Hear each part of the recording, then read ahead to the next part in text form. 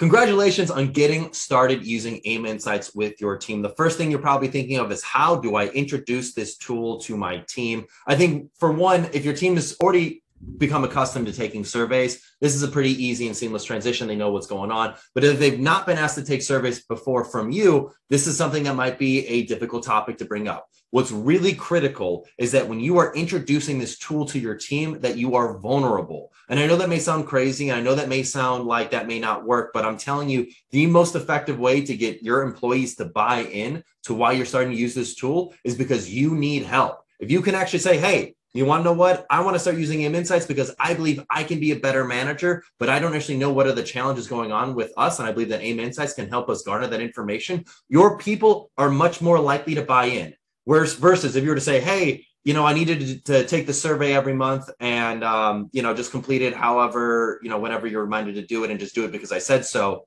unlikely to garner the buy-in that you're hoping for. But if you can say, hey, I need your help, there's this thing called the IKEA effect. Essentially, what that says is people are much more likely to do things for others if they helped build it or they help them in the process of doing that. There's a ton of power in asking for help. People are much more likely to to support, be committed to and and do the things that you ask them to do if you frame it in the form of i need help i'm a little bit vulnerable i am not a perfect being and that i could benefit from having the insights from this tool. Your people are much more likely to buy into that. That is one of the best ways to go about getting your team to not only take the initial assessment to take the but to take the subsequent surveys after the first assessment